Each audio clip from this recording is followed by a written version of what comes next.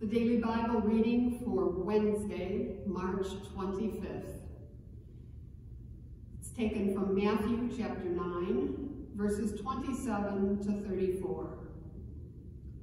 As Jesus went on from there, two blind men followed him, crying loudly, Have mercy on us, son of David.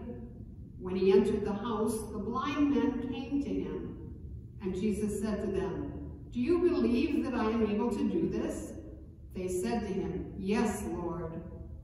Then he touched their eyes and said, According to your faith, let it be done to you. And their eyes were opened. Then Jesus sternly ordered them, See that no one knows of this. But they went away and spread the news about him throughout that district.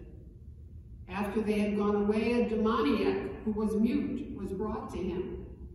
And when the demon had been cast out, the one who had been mute spoke, and the crowds were amazed and said, Never has anything like this been seen in Israel. But the Pharisees said, By the ruler of the demons he casts out the demons. The word of the Lord.